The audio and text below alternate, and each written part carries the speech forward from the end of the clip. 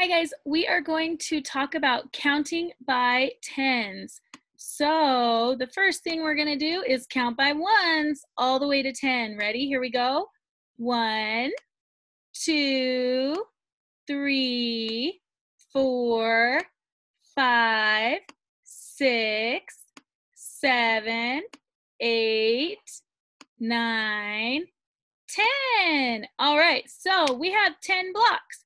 So if someone said, how big is that group of blocks? Instead of saying, well, it's one, two, three, four, five, six, seven, eight, nine, ten, we could just say, oh, 10 blocks, because we know there's 10 blocks. So when we count with a group of 10, it makes it really fast to count our groups and our blocks. Ready? Here we go.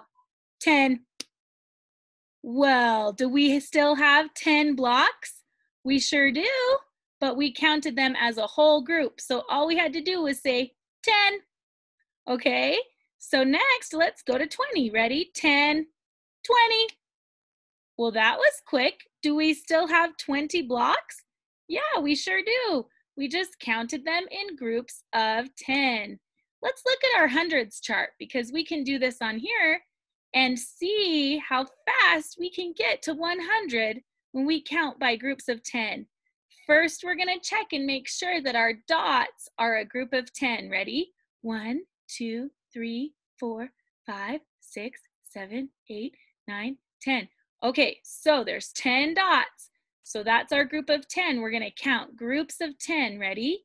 10, 20, 30, 40, 50. When we're counting by tens, we only say the numbers that end in zero.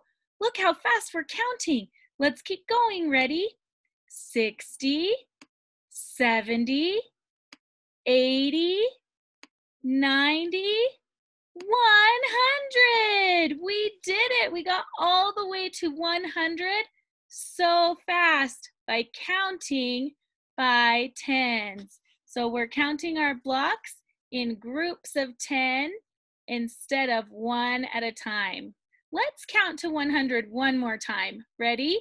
10, 20, 30, 40, 50, 60, 70, 80, 90, 100. So fast. So good, you guys. 30, 40, 50, 60, 70, 80, 90, 100. We're counting by 10. 10, 20, 30, 40, 50, 60, 70, 80, 90, 100. We're counting by 10. So one's place stays the same as always a zero. The 10's place changes like a superhero. The numbers go up one at a time starting at one and ending at nine.